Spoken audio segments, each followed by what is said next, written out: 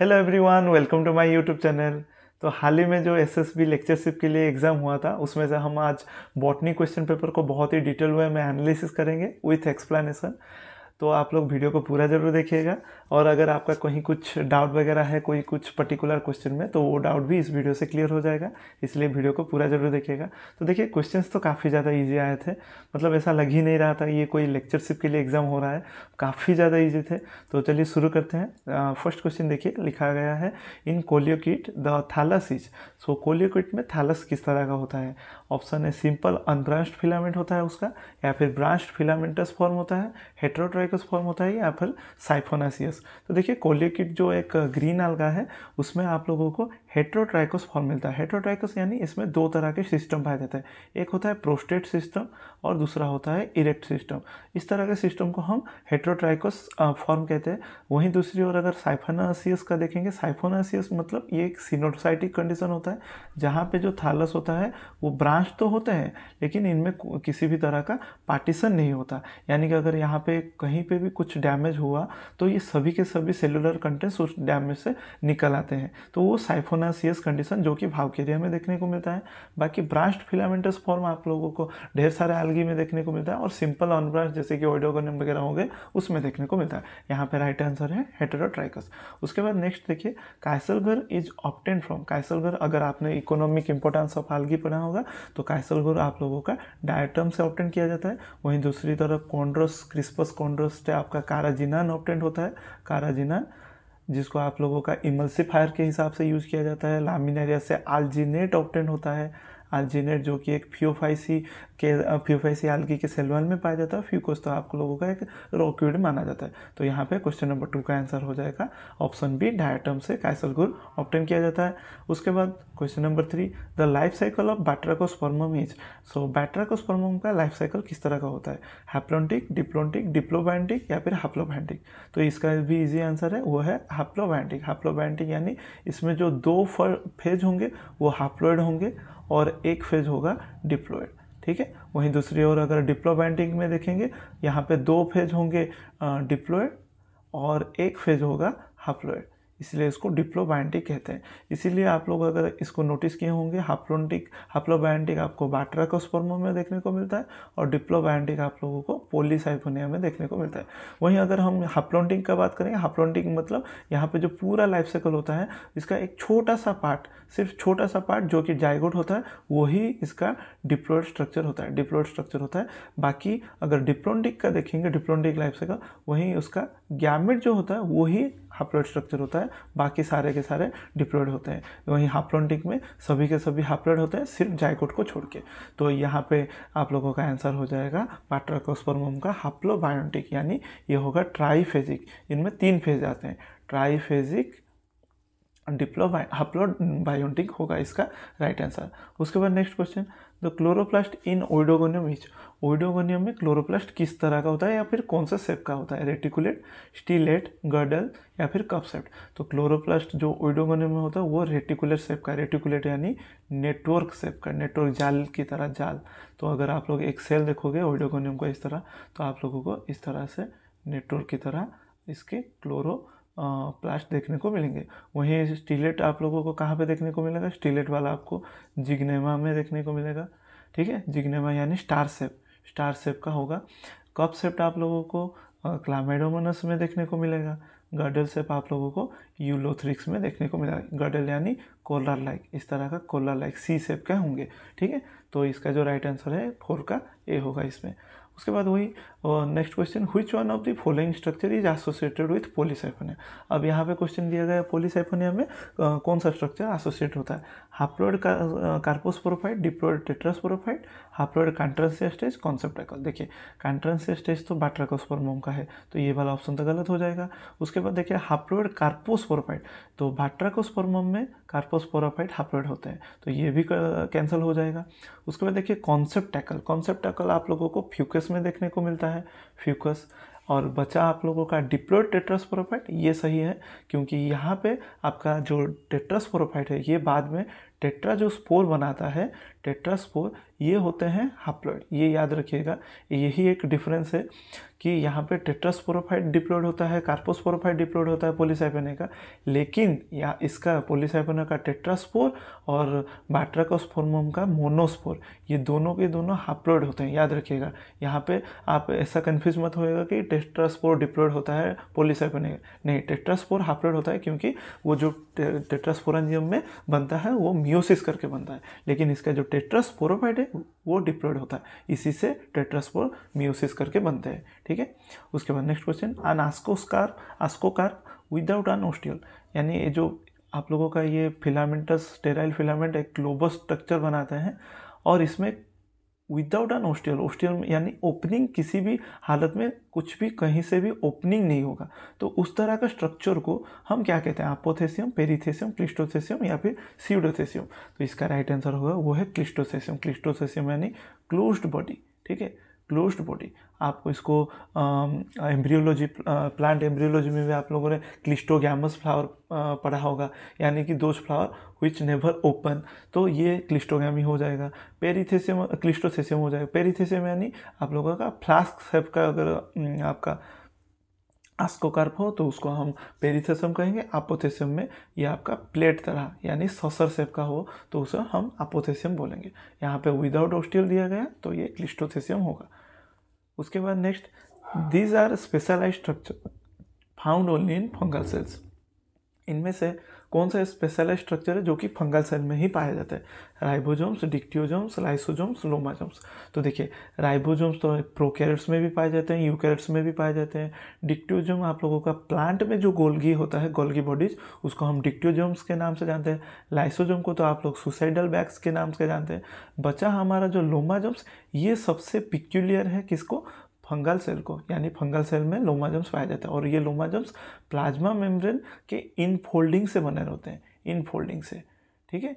In folding से ये बने रहते हैं, इसको लोमाजम्स कहा जाता है और ये पर्टिकुलरली फंगल सेल्स में पाए जाते हैं।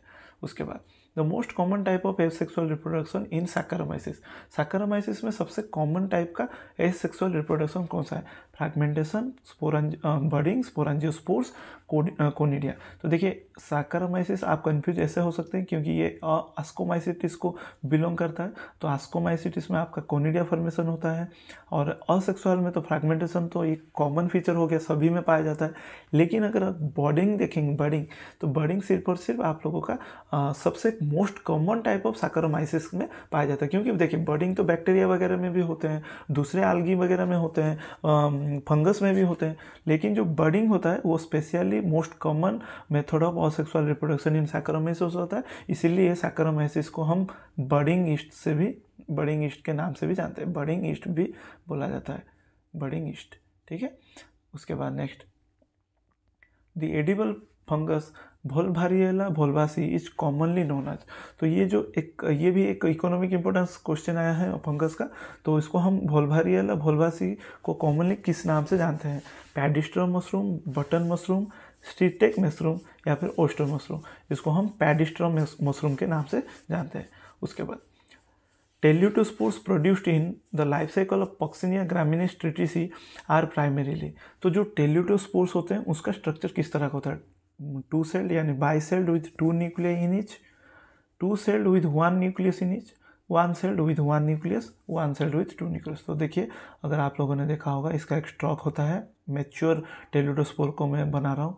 ये स्पिंडल शेप के स्ट्रक्चर होते हैं बाई सेल्ड होते हैं बाई सेल्ड यानी टू सेल्ड के होते हैं, और स्पिंडल। स्पिंडल यानी ऊपर का भी पॉइंटेड, नीचे का नीचे का भी पॉइंटेड स्ट्रक्चर होता है, और इसमें दो दो न्यूक्लियस पाए जाते हैं, ठीक है? दो न्यूक्लियस देखने को मिलता है। इसी को हम मेच्योर टेलिडोस्पोर कहते हैं, और जो पक्सिनिया ग्रामीण स्ट्रिटिसी को black stem rust of wheat बोला जाता है और उसका जो ब्लैक कलर भी इसके वजह से है, क्योंकि ये जो थिक वाल में कवर हुआ रहता है, वो काफ़ी ज़्यादा डार्क कलर का होता है, ठीक है? तो इसका राइट आंसर हो जाएगा two celled with two nuclei दो दो न्यूक्लिय यहाँ पे होंगे इन इच सेल क्योंकि इसके बाद वाला स्टेज में आप लोगों को क्या बनता है? एपीबेसिडियम, हाइपोबेसिडियम, जहाँ पे हर एक सेल से आप लोगों को चार चार बेसिडियो स्पोर देखने को मिलते हैं, ठीक है? उसके बाद this is a broad spectrum systemic fungicide इसमें से कौन सा वाला ब्रॉड ब्रॉडली यूज़ किया जाता है सिस्टमिक फंजीसाइड के हिसाब से? Copper sulphate sulphur dust carbon carbendazim या फिर मर्क्यूरी कंपाउंड तो देखिए, आप लोगों में से काफ़ी ज़्यादा लोग कॉपर सल्फेट सोच के इसको डार्कन किए होंगे, क्योंकि देखिए कॉपर सल्फेट आपका बोडेक्स मिक्सचर में यूज़ होता है, या फिर Bordeaux mixture copper sulphate lime से बना हुआ रहता है, लेकिन ये गलत ऑप्शन है सल्फ़र डस्ट नहीं होता। मर्क्यूरी कंपाउंड तो आप लोग टॉक्सिक होता है। रहा हमारा कार्बन डाइजिम ये है हमारा राइट आंसर जो कि ब्रॉडली यूज़ किया जाता है। उसके बाद citrus canker disease is called by देखिए, यहाँ पे भी क्वेश्चन ट्विस्ट किया गया है। हालाँकि ये क्वेश्चन अगर आप लोगों ने पढ़ा होगा दूसरे दूसरे बुक्स में, क्योंकि देखिए, अगर आपने सिंह पांडेजन फॉलो किया होगा तो जानथोमोना साइट्री होगा इसका। आपने पढ़ा होगा जानथोमोना साइट्री।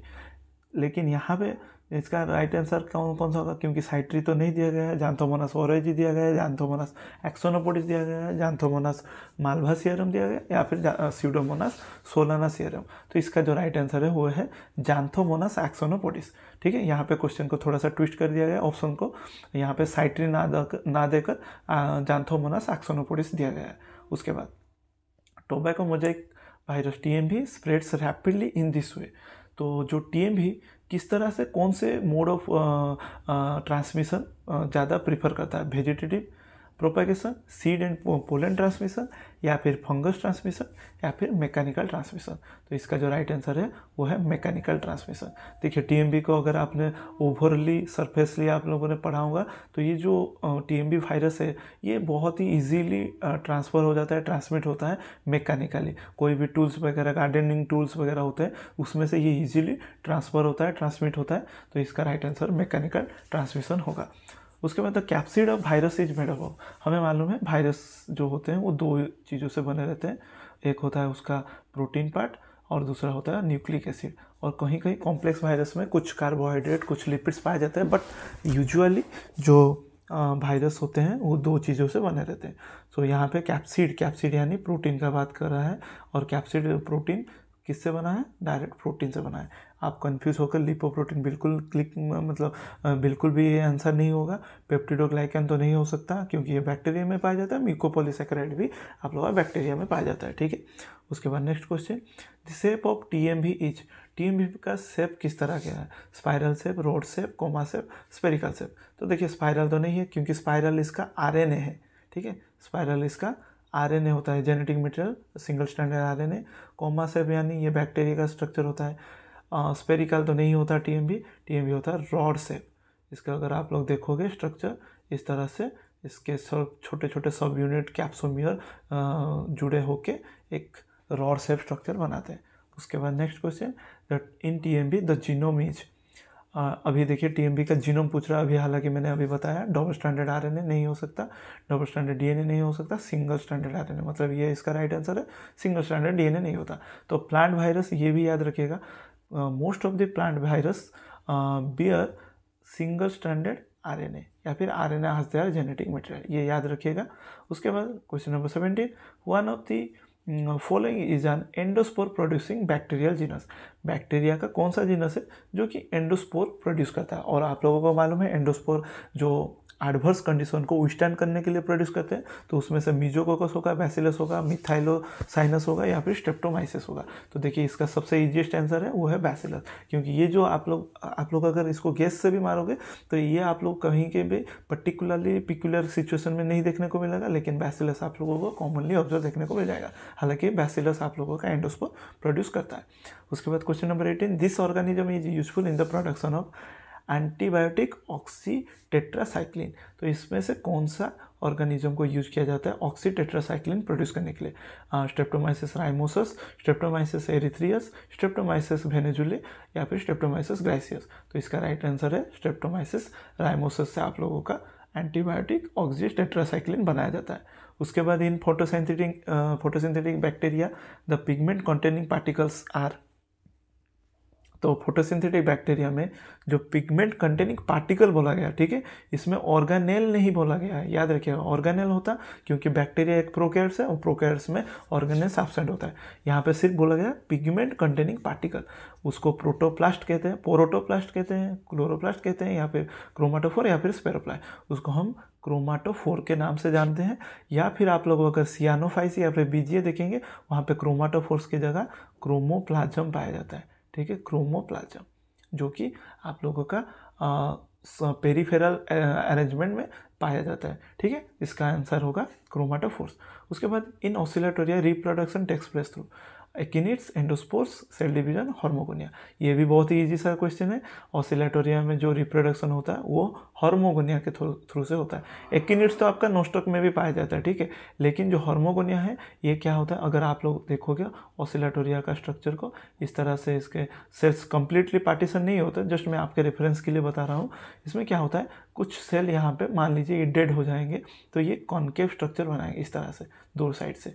और ये पार्ट बन जाएगा एक हार्मोगोनिया ये पार्ट बन जाएगा दूसरा हार्मोगोनिया और यहीं से ब्रेक होगा आपका, जो फिलामेंट रहेगा या फिर ट्राइकोम कहा जाता है ट्राइकोम यहाँ से टूटेगा तो ये एक हार्मोगोनिया बन जाएगा और ये एक हार्मोगोनिया बन जाएगा।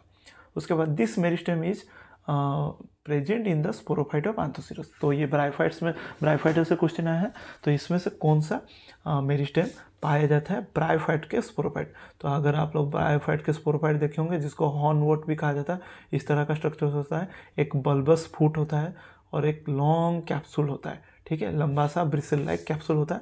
तो इसमें एक जो एरिया होता है, ये वाला एरिया यहाँ पे मेरिस्टेम पाया जाता है। तो ये किस तरह का मेरिस्टेम होता है? एपिकल बेसल लेटरल इंटरकली ये होता है इंटर कैलरी देखिए, ये इसके और इसके बीच में जो मेरिस्टेम पाया जाता है, इसको हम इंटर कैलरी मेरिस्टेम कहते हैं, ठीक है?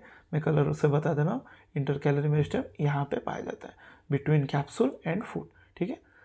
उसके बाद next one of the following helps in the dispersal of spores in Marchantia इनमें से मार्कनसिया का स्पोर्ट्स डिस्पर्सल के लिए कौन कौन सा चीज़ मदद करता है? यहाँ पे भी देखिए, आप लोग इजीली ऑप्शन एलिमिनेशन टेक्निक से ये आंसर कर सकते हैं। राइजोट्स तो अटैचमेंट के लिए मदद करता है स्केल्स प्रोटेक्शन के लिए एपिकल टिप को प्रोटेक्ट करने के लिए फ्लाजेला मूवमेंट के लिए गैमेट्स के मूवमेंट के लिए। बचा हमारा कौन सा? एलाटर्स इलाटर्स अगर आप लोगों ने स्पोरोफाइट किसी भी ब्रायोफाइट का देखा होगा तो उसमें कहीं ना कहीं आप लोगों को सीडो इलाटर्स चाहे हो या फिर इलाटर्स हो, देखने को मिला ही होगा। तो इसका राइट आंसर है इलाटर्स जो कि हाइग्रोस्कोपिक नेचर के होते हैं और मार्कनजियम में दो थिकेनिंग बैंड देखने को मिलता है। याद रखेगा two spiral thickening band elaters में देखने को मिलता है और ये स्पोर्ट्स डिस्पर्सल के लिए मदद करता है।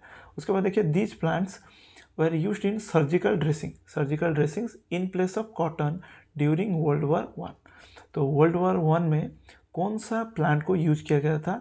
सर्जिकल ड्रेसिंग के हिसाब से कॉटन को रिप्लेस करके पोलिट्राइकम फ्यूनरिया स्पैग्नम ब्रायम तो देखिए, ये भी बहुत ही ईजी सा है। ये भी इकोनॉमिक इम्पोर्टेंस ऑफ़ ब्रायोफाइट से आया है और इसका राइट आंसर है स्पैग्नम स्पैग्नम को इसीलिए कॉटन मोस भी कहा जाता है। ये याद रखिएगा कॉटन मोस अगर पूछा जाए डायरेक्ट स्पैग्नम ना पूछ के तो हम आप ये आंसर करेंगे। कॉटन मोस स्पैग्नम को कहा जाता है। ठीक है? उसके बाद next question in bryophytes the gametophytic generation is always independent the sporophytic generation is always independent both gametophytic and sporophytic generations are independent या फिर the gametophytic generation is dependent on the sporophytic generation तो इसका जो right right answer है आप सभी को मालूम है ब्रायोफाइटा का जो डोमिनेंट स्ट्रक्चर होता है वो कौन सा है वो है उसका गैमेटोफाइट और गैमेटोफाइट हमेशा इंडिपेंडेंट रहता है क्योंकि ये अपना फ़ूड सिंथेसिस खुद कर सकता है लेकिन इसके ऊपर जो डिपेंड करता है वो है उसका स्पोरोफाइट तो हमारा ऑप्शन हो जाएगा the gametophytic generation is always independent इसका, इसको किसकी भी ज़रूरत नहीं है, क्योंकि ये खुद से खुद फोटोसिंथेसिस कर सकता है। करके अपना खुद का फ़ूड प्रोड्यूस कर सकता है सिंथेसिस कर सकता है। वहीं दूसरी अगर आप टेड्रोफाइट्स जिम्नोस्पोम और एंजोस्पोम में जाएँगे, वहाँ पे गैमेटोफाइटिक स्टेज बहुत ही रिड्यूस हो गया है इनकॉन्स्पिक्यूस हो गया है। लेकिन आपका एक लोता ब्राइफाइड है, जहाँ पे गैमेटोफाइटिक स्टेज काफ़ी ज़्यादा वेल डेवलप्ड है। उसके बाद देखिए, ये लास्ट क्वेश्चन है। हम इसको चार पार्ट में डिवाइड कर देंगे ताकि मैं आप लोगों को हर एक क्वेश्चन का बहुत ही डिटेल वे में एक्सप्लेन कर सकूँ। अगर आप लोगों का कोई पर्टिकुलर क्वेश्चन में डाउट हो तो वो भी डाउट क्लियर हो जाए। तो लास्ट क्वेश्चन हम 25 को देखते हैं, क्योंकि इसमें 100 क्वेश्चन है तो चार पार्ट में इसको देख लेंगे। An aquatic species of Riccia is Riccia का कौन सा स्पीसीज एक्वाटिक है? Riccia discolor Riccia fluitans Riccia orientalis Riccia bengalensis तो ये भी बहुत बहुत ही ईजी क्वेश्चन है। वो है रिक्सिया फ्लूटेंस इसके अलावा मैं और दो ठो आपको प्राइवेट बता दे रहा हूँ। एक है रियला रियला और है, और एक है रिक्सियो कार्पस ठीक है? रिक्सियो कार्पस नाटांस ठीक है?